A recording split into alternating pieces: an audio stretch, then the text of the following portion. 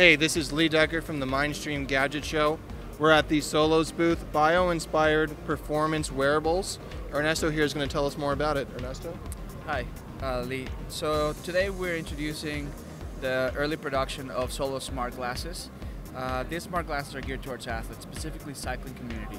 Uh, as we know, cycling is one of the uh, sports that is heavy on data as part of their everyday training. To really understand how uh, data will help improve their performance. So the, the, glasses will enable the user to receive real-time feedback, both visually through a head-up display, as well as acoustically through integrated speakers, enabling the user to perform better as they receive their information in real time. Excellent. Um, where can I learn more about this?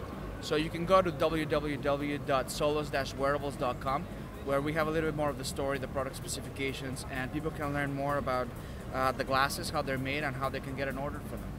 Are these good for other sports or just cycling specifically? Right now, we're focusing on, on cycling specific as our early adopter market because we believe they're already married to their data and it's a, it's a community that is very willing to test new wearable technology. And that's an opportunity for us to receive feedback from the marketplace before growing into other activities like running, triathlons, uh, skiing, uh, you name it. I think the core technology will be the base. And what do you think of them? Uh, well, they look cool, but they're also, they're actually they're very functional, and uh, you know I see a huge wide range of applications. But for cycling, it's really kind of indispensable as a training tool. What's the approximate pricing? The MSRP is 499. However, we currently have an Indiegogo campaign as early seed market at a special rate of 375. Is the Indiegogo campaign live now? It's live now. It's uh, Indiegogo oh. on demand. So, the the campaign will be in the description below. Make sure to check it out and get one at the very special price. Thank you, Ernesto. Thank you very much for your time.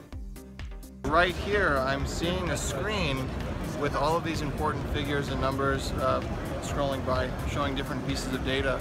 I can see uh, I can see a screen just giving me information. Uh, it's not blocking my field of vision at all. These are really amazing.